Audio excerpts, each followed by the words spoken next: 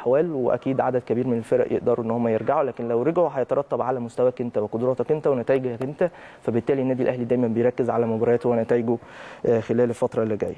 طيب خلينا نروح سريعا لزميلنا العزيز كريم أحمد مراسل قناة الأهلي واللي كان متواجد في مران اليوم عشان يقول لنا أبرز الأخبار والكواليس يا كريم مساء الخير عليك. مساء الخير عليك يا زميلي أمير كل التحية ليك ولكل مشاهديك طبعا وكل جمهور النادي الأهلي أخبارك إيه يا كريم كله تمام؟ تمام يا امير الحمد طمنا لله طمنا طمن جمهور النادي الأهلي على الاستعدادات لمباراة طلائع الجيش كريم. الحقيقة امير يمكن معنويات مرتفعة بشكل كبير. جدا لكل لاعبي النادي الأهلي والجهاز الفني النهارده التدريب. نقدر نقول كان في 80% من التدريب مش هنقول جزء ترفيهي على قد ما هو كان تحمل كبير جدا وضغط كان كبير خلال الفترة اللي فاتت وتحديدا كمان مباراة بيراميدز اللي كل اللعيبه بذلت مجهود كبير. فأكيد كان مستر ريني فايلر مع توماس مخطط الأحمال.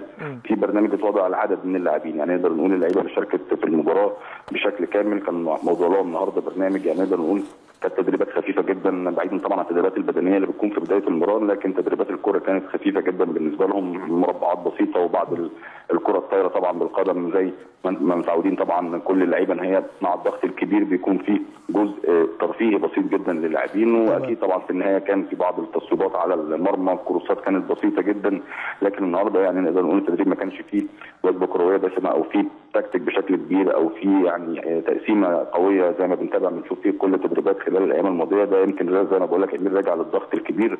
مش هنقول إن بعض اللعيبة بتشكي من الإجهاد لكن على قد ما أكيد طبعا المباراة الأخيرة كان في جهد كبير جدا مبذول. وانت عارف بدون بدون راحة النادي الأهلي مستمر وهيستعد لمباراة طلائع الجيش. لكن بشكل عام يعني الكل كان متواجد. محمود متولي عايز أطمنك عليه. يمكن آه. إذنه كان أمس بالنسبة للتدريبات الجماعيه النهارده شارك في تدريبات الكرة البسيطة اللي كان موضوع زي ما بقول لك بالنسبة لمخطط الأحمال توماس حسين الشحات أيضا كمان شارك في جزء بسيط جدا.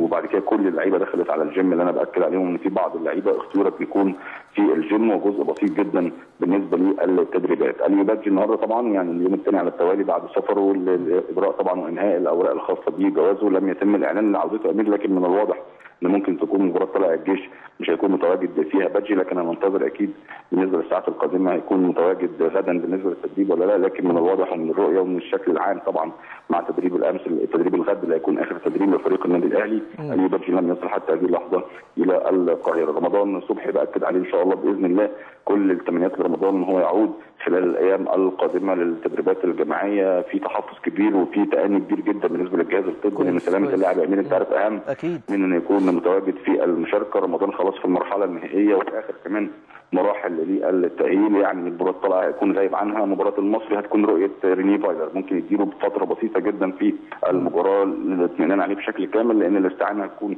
كبيرة جدا بيه في مباراة السوبر المرتقبه والمنتظره من كل جمهور النادي الأهلي. كل الأمور الحمد لله أمير ماشيه بشكل مطمئن. رامي ربيعة النهارده يمكن أدى أداء رائع. والنقطة المهمة اللي عايز عليها اتفضل يمكن.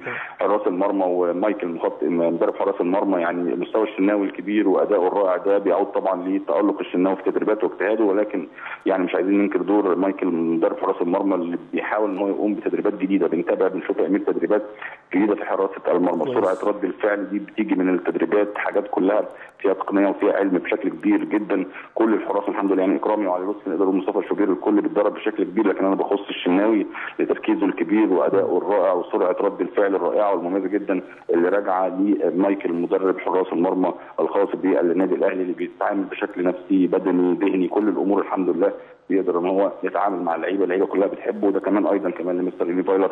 الحمد لله يعني نقدر نقول الجهاز المتواجد في النادي الأهلي في الفترة دي جهاز رائع ومميز جدا قدر يوصل للعيبة بشكل كبير في أقرب وقت ولسه كمان منتظرين منه المزيد مع لعيبة النادي الأهلي إن شاء الله. وبإذن الله مباراة طلائع الجيش كالعادة يستمر النادي الأهلي في الانتصار وفي الأداء وفي سعاده كل جمهور النادي الأهلي حتى مباراة صن داونز اللي أكيد بينتظرها كل جمهور النادي الأهلي.